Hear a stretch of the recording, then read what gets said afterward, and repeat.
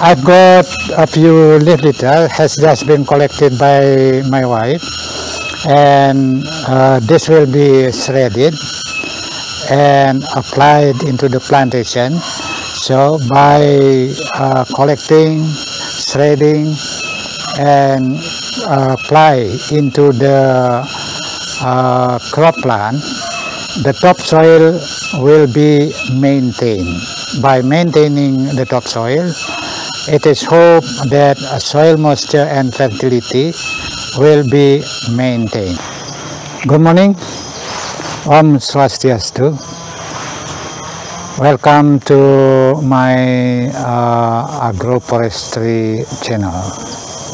Today I would like to share with you the sustainability of traditional coffee plantation.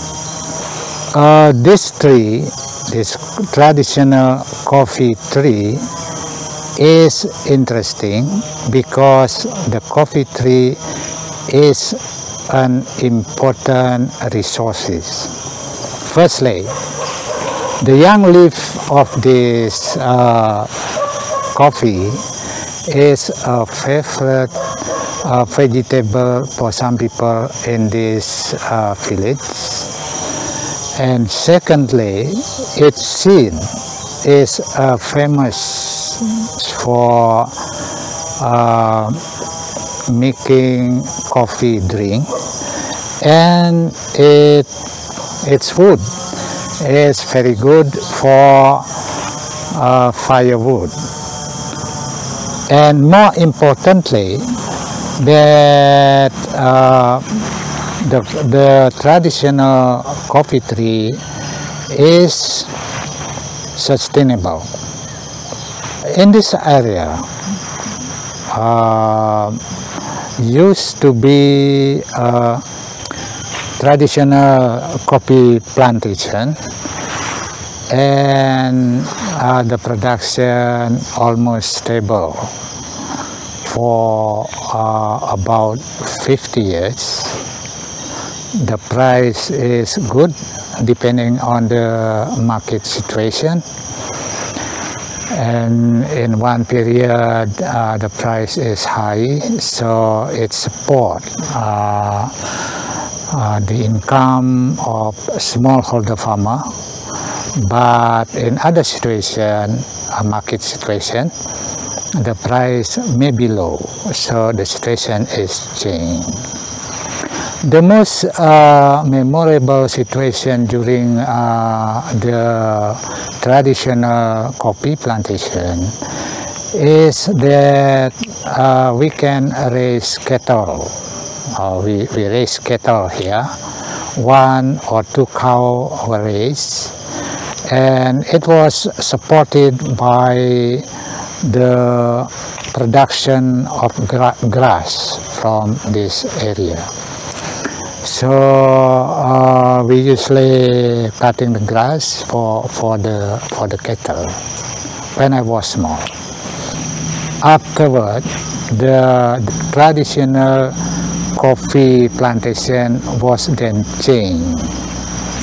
The changes of the traditional coffee plantation uh, because of the introduction of uh, vanilla plant the introduction was around 1984 and this introduction was uh, conducted because the vanilla plant is regarded as prosperous.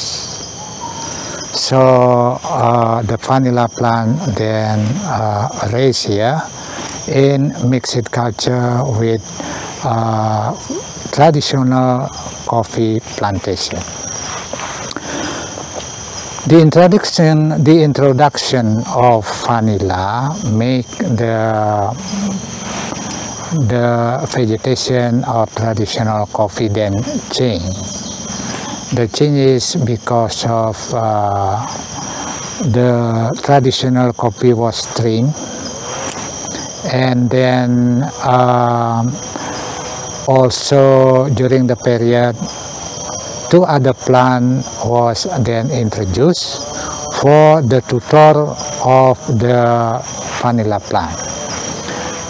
The tutor uh, during uh, that uh, plantation was uh, Leucena glauca and uh, Gliricidia sepium. The production of vanilla is uh, good, is very good initially and the price is also good so it could increase the income of smallholder farmer.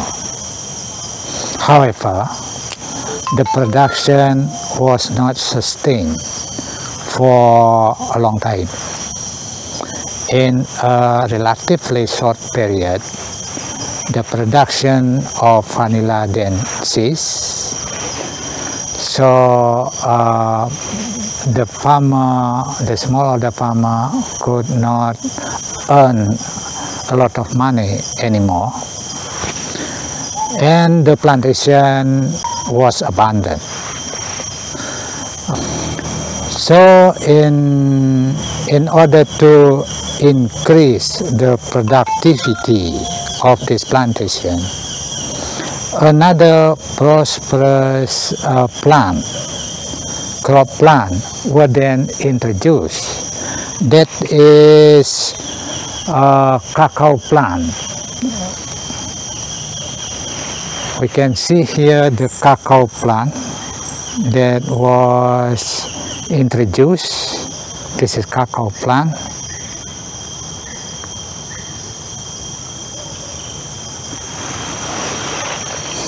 Uh, this cacao plant was introduced in uh, 19, 1997. So when the when the cacao was introduced in this in this plantation, the vegetation of traditional coffee was subs substantially decreased. That particularly because of the cacao plant is a light loving plant. So the cacao plant require a direct a direct sunlight. Uh, so more more traditional coffee was then trimmed so the, the vegetation of traditional uh, coffee then substantially decreased. Um, the production of cacao is very good initially, similar to similar to the vanilla plant. The initial production of cacao is very good. Its price uh, also very good and almost stable. So the smallholder farmer earn a lot of money from uh, the production of cacao plant. However, in a relatively short period, the production then dropped. And the cacao plant do not uh, support anymore the smallholder farmer income. Because of the seed is the problem. So uh, the production of cacao plantation is uh, very low. So uh, the plantation uh, then abandoned for the second time during the the abandon of the plantation the the smallholder farmer income were not uh, supportive.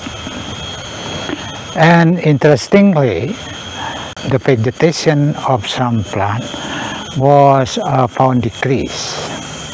The profound decrease of uh, plant after the introduction of cacao is banana. So uh, when the the, the plantation was uh, abandoned, the, the production of cacao seed will decreased and the banana production was also decreased. The other uh, vegetation was also found decreased. Uh, that is uh, Erythrina plant in a very wide area. The Erythrina was hardly to be found. Previously, the, the Erythrina tree is very big and a lot in this area. It is still unclear whether the disappearance of the Erythrina uh, is attributed by the introduction of cacao plant or because of other factors such as um, global warming and climate change. I think it still need to be uh, studied. For the uh, vanilla plant, then develop a project uh, to study whether the previous method employed uh, could be improved. Therefore, in this uh, current uh, vanilla agroforestry project, I would like to uh, maintain the topsoil by collecting collecting leaf litters and then apply into the base of this vanilla plant. So by collecting and applying the, the, the leaf litter, it is hoped that the leaf litter will maintain the topsoil. However, if we want to see its sustainability, uh, of course, we have to observe the growth of the vanilla in long-term study. So the smallholder farmer income uh, could be supported. That's the main idea. And the, uh, the, other, the other purpose is culture is also supported. And uh, of course, the environment is uh, excellent. Thank you for watching. I hope you um, like this uh, video. Thank you.